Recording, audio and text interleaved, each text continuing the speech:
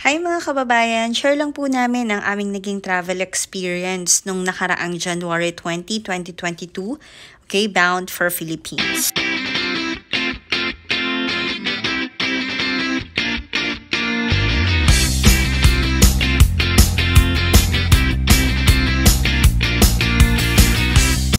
First thing to ensure is the travel documents such as passport, ticket, PCR test result, COVID-19 vaccination certificate, and One Health Pass.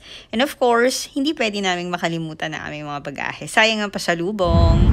So guys, if you are unsure doon sa weight ng bagahe nyo, please check it first sa provided airport baggage weighing scale. Meron po sila mismo dyan sa Hamad International Airport just to make sure po na tama ang timbang which yun naman yung ginawa namin just to you know prevent ourselves sa additional costs. Sayang din kasi ang mahal per kilo.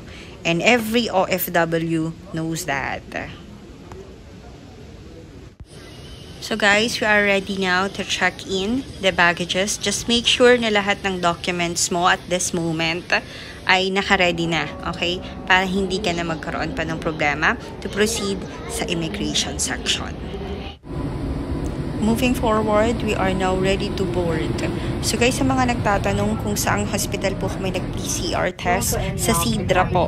So within 8 hours, lumabas po yung result po namin. Actually, 5 hours lang lumabas na po yung result namin. So napaka-importante po na within 48 hours po yung ating uh, validity ng PCR test result. There lang po, wag na wag niyo pong kakalimutan ng One Health Pass. You can do it po online one day or two days prior po ng flight po nila.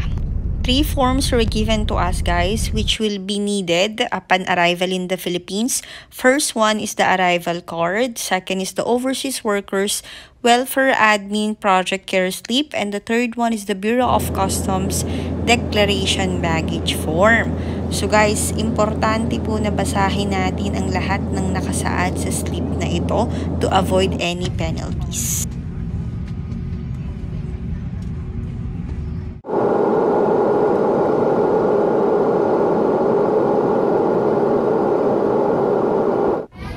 At this moment, already got landed. Nasa Pilipinas na po kami. So make sure na ready na po ang inyong Bureau of Immigration Arrival Card, PCR test result, COVID-19 vaccination certificate, along with your One Health Pass. Pwede po yung naka-print at pwede po yung naka, nasa cellphone nyo lang po. Just make sure po na meron po kayong One Health Pass. Kasi kailangan po yun for arrival verification in order for us to proceed and to pass sa immigration section. But don't worry guys, if you have any questions, meron po tayong mga Philippine Coast Guards na nandyan to assist the OFW, sea and land-based OFWs po.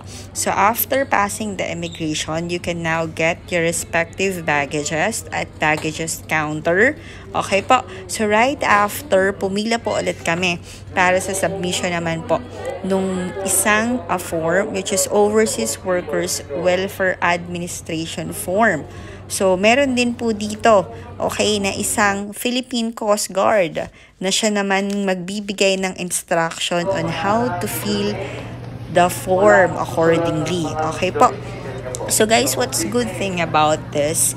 Sobrang accommodating ng Polo Owa kasi at the airport meron na po agad na pagkain na ibibigay sa mga OFWs na katulad natin.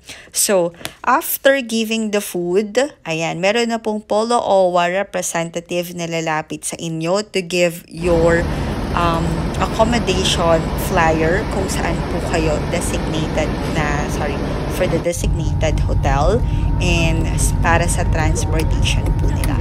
Alright? So, they are very accommodating so you don't have to worry anything.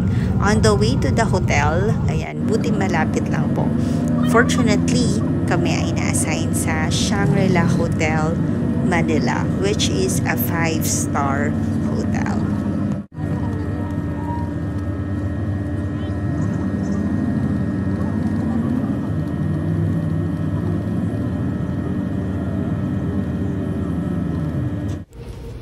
Upon arrival in the hotel, diretso sa briefing ng Polo OWA para sa OFW protocols and hotel policies kung saan merong ulit forms na fill upan. So guys, hanggang dito na lang po muna ang aming video. Okay, till next video. For now, thank you so much Polo OWA, Philippine government, and President Duterte for assisting and supporting all of OFWs around the world.